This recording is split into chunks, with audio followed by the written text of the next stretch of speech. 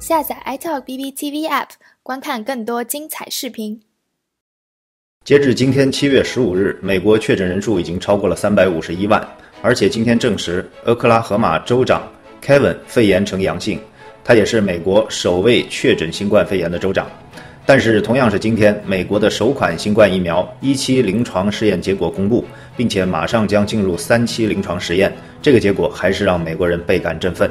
这款疫苗是由美国生物科技公司 Moderna 研发的，一期人体临床实验结果公布，四十五名志愿者全部产生抗体。出于安全性和有效性的进一步验证，二期实验正在开展，这个月将会开启最后的三期临床阶段实验。如果一切进展顺利，有望二零二一年量产十亿份疫苗。美国生物科技公司 Moderna 的疫苗 mRNA 幺二七三是全球第一个进入临床实验的新冠疫苗。根据周二发表在《新英格兰医学杂志》上的结果，参与实验的四十五名志愿者均产生了新冠病毒抗体。该疫苗产生的中和抗体与已康复患者产生的抗体的中上水平相当。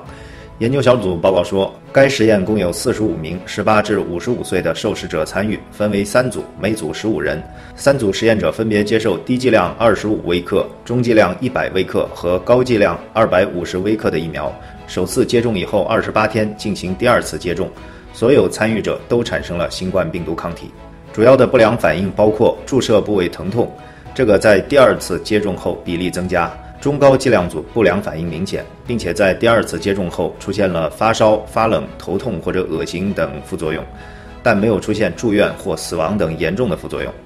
宾夕法尼亚大学传染病学家 Paul 教授说。目前还不知道疫苗是否能真正保护人们免受病毒侵害，或者他们能持续多久。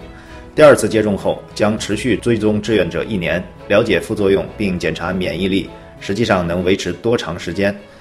为了进一步研究疫苗的安全性和有效性，美国国立卫生研究院 （NIH） 主导的一期临床实验已扩大了试验人群，涉及年龄在五十六岁以上、易患严重疾病的成年人。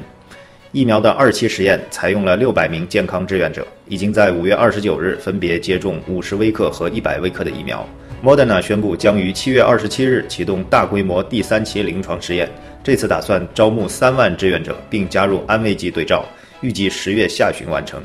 在一份声明中，Moderna 表示，如果未来的研究一切进展顺利，那么我们将实现提供五亿疫苗制剂的目标，并在二零二一年起达到每年十亿制剂的目标。作为全美首批疫苗的 Moderna，在疫情中的研发进度非常惊人。二月二十四日，Moderna 宣布研发出全球首款新冠疫苗 mRNA 疫苗，仅五个月后的七月二十七日就将进入临床第三期阶段。Moderna 之所以可以做到如此神速，除了得益于一月十一日中国科学家迅速确定了新冠病毒基因组序列外，还与 Moderna 采用突破传统的 mRNA 先进技术有关。和传统的灭活疫苗不同，mRNA 也就是信使核糖核酸技术，不用病毒本身制作疫苗，而是直接在信使核糖核酸上做文章，生产出具有遗传密码的核酸。疫苗将这些病毒遗传密码中的一小部分注射到人体后，可以指示人体自身细胞从病毒中合成某些蛋白质，从而引发免疫反应。Moderna 公司2010年由哈佛大学的研究团队创办，是一家专注于基于 mRNA 技术的生物科技公司，拥有800多名员工，总部就位于哈佛所在的麻省剑桥镇。2018年12月，Moderna 在纳斯达克上市，以6.04亿美元的 IPO 创下了美股史上生物科技行业的记录。Moderna 被认为是 mRNA 技术开发的领导者，可以说在这一领域中几乎没有对手。